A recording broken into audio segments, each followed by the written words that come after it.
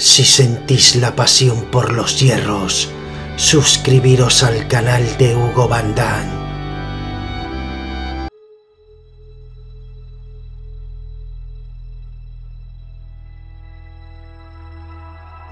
Hablemos acerca de las comidas previas al entrenamiento.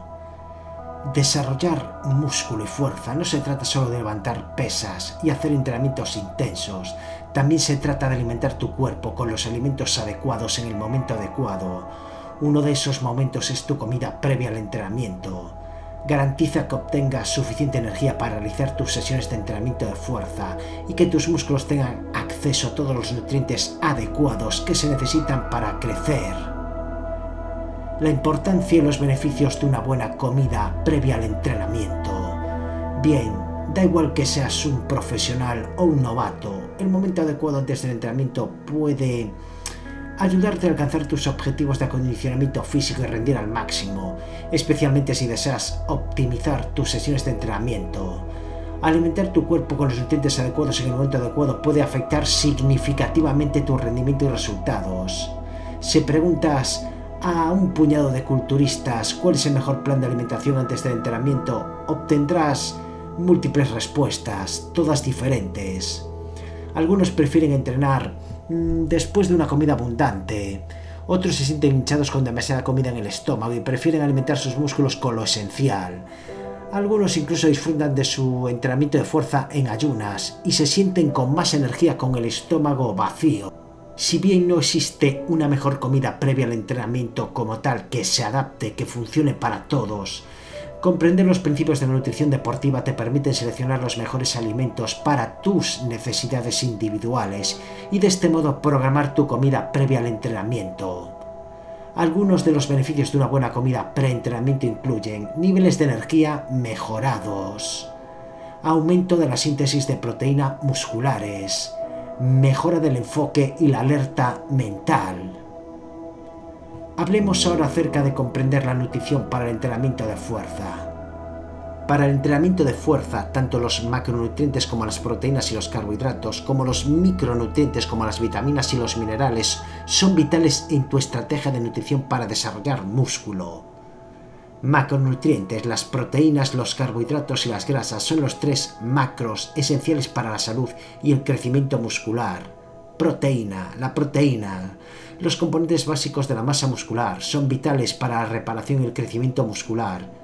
Proporcionan a tu cuerpo aminoácidos que tu cuerpo utiliza para desarrollar músculo. Proteínas es, con diferencia, el factor más crucial, no cuando las ingieres Dicho esto, comer o beber proteínas durante una sesión de entrenamiento antes o después mejora la síntesis de proteínas musculares más que la misma cantidad de proteínas en cualquier otro momento. Recuerda que un batido de proteínas antes del entrenamiento o una barrita de proteínas no hacen daño y asegura que tus músculos tengan los componentes básicos que necesitan. Carbohidratos. Actúan como la principal fuente de energía para tus entrenamientos tu cuerpo los descompone en glucosa, llenando sus reservas de glucógeno y alimentando tus músculos durante el ejercicio de alta intensidad. Debes tener presente que necesitas mucho glucógeno muscular cuando llega el momento de ir al gimnasio. Una vez más, la ingesta diaria total de carbohidratos es el factor más importante para garantizar que las reservas de glucógeno estén llenas. Sin embargo, los carbohidratos previos al entrenamiento pueden mejorar el rendimiento y aumentar el volumen de entrenamiento si el entrenamiento dura más de 45 minutos, o si has comido, mejor dicho, si no has comido durante 8 horas o más. Grasas. Las grasas saludables proporcionan energía a largo plazo y regulan las hormonas que ayudan en tus esfuerzos de desarrollo muscular. La grasa no es la principal fuente de energía durante el ejercicio de alta intensidad como el entrenamiento con pesas. Si disfrutas de algunas grasas saludables como una cucharada de mantequilla de cacahuete o una rebanada de pan tostado con aguacate, antes de entrenar hazlo, pero no es necesario que las incluyas en tu comida previa al entrenamiento. Micronutrientes e hidratación. Si bien la atención se centra a menudo en los macronutrientes, los micronutrientes como las vitaminas y los minerales también desempeñan un papel vital en la salud, la recuperación y el rendimiento en general. La hidratación previa al entrenamiento es muy importante. Para un rendimiento óptimo, mantener la hidratación es fundamental. De hecho, la deshidratación compromete gravemente tu capacidad para rendir al máximo durante una sesión de entrenamiento de resistencia. Si haces ejercicio casi inmediatamente después de levantarte a la cama, no tendrás tiempo para hidratarte adecuadamente. Bebe un vaso grande de agua según te levantes y continúa mm, bebiendo regularmente durante tu sesión de entrenamiento. Lo ideal es no separar las comidas antes y después del ejercicio más de 3 o 4 horas. Sin embargo, si entrenas entre dos comidas abundantes, se puede ampliar este intervalo incluso hasta 5. Si tu objetivo es una comida completa antes de hacer ejercicio, intenta comer 2 o 3 horas antes de tu sesión de entrenamiento. Hacerlo proporciona suficiente tiempo para la digestión y absorción de nutrientes.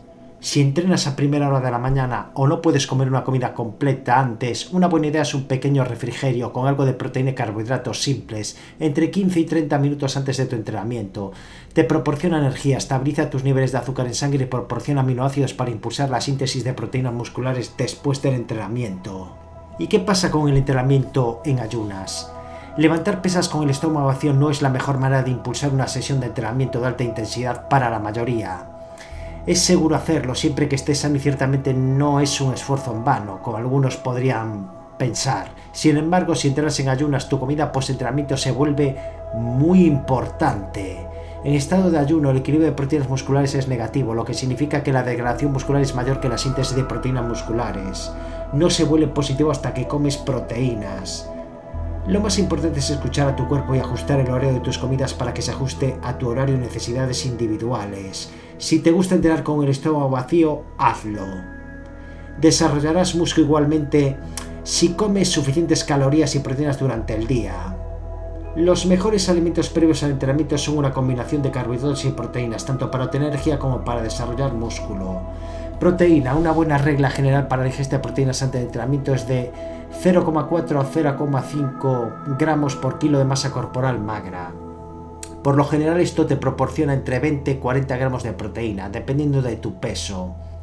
Los carbohidratos, mmm, para una comida previa al ejercicio una hora o más antes del entrenamiento, mm, tienes que buscar una combinación de carbohidratos simples y complejos para tener energía inmediata y sostenida. La fruta fresca y la avena son buenas opciones. Para los carbohidratos previos al entrenamiento, inmediatamente antes del entrenamiento, los carbohidratos de rápida absorción como la dextrosa o la maltodextrina mm, mezclados con agua pueden ser una buena opción si no te gusta hacer ejercicio con el estómago vacío. Apunta a consumir al menos 15 gramos de carbohidratos dentro de las 3 horas posteriores a tu sesión de entrenamiento. Más no es necesariamente mejor, pero si realizas una sesión de gran volumen probablemente puedas beneficiarte de una mayor ingesta. Aunque las grasas se digieren más lentamente, una pequeña cantidad de grasas en la comida previa al entrenamiento no te hará daño. Sin embargo, no es algo por lo que tengas que esforzarte para incluirlo. Por otra parte, el ejercicio aeróbico hace maravillas con ese otro músculo tan importante, el corazón. Digamos que quieres rendir al máximo cuando haces cardio. El entrenamiento aeróbico consume glucógeno muscular más rápido que levantar pesas, por lo tanto es una buena idea aumentar la ingesta de carbohidratos antes del ejercicio, al menos antes de sesiones largas. Si haces ejercicio de baja intensidad, la proteína es suficiente, pero si deseas maximizar tu rendimiento durante un entrenamiento de alta intensidad, agrega cantidades generosas de carbohidratos a tu comida previa al entrenamiento. Esto puede brindarte los mejores resultados. Mitos erróneos. Mm, hacer ejercicio con el estómago vacío quemará más grasa corporal. No hay evidencia alguna de que esto sea cierto. La comida pre-entrenamiento es menos importante que la comida post-entrenamiento ambas son igualmente importantes. La nutrición pre-entrenamiento puede ser tan crucial como la nutrición post-entrenamiento.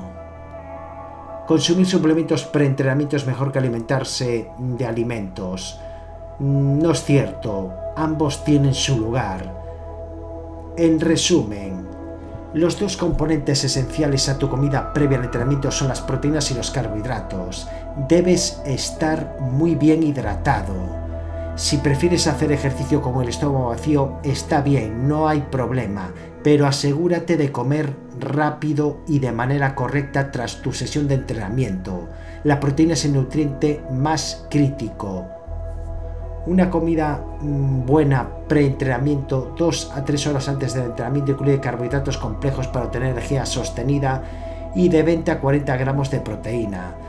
Para una comida previa al entrenamiento durante la hora previa a la sesión de entrenamiento, opta por algo de fácil digestión que te siente bien, como una pieza de fruta y un poco de yogur griego o un batido de proteínas, por ejemplo. La nutrición previa al entrenamiento se trata de dos cosas. Proporcionar a tu cuerpo suficiente combustible para rendir al máximo durante tus entrenamientos de fuerza y darle a tus músculos los materiales de construcción que necesitan para crecer y fortalecerse.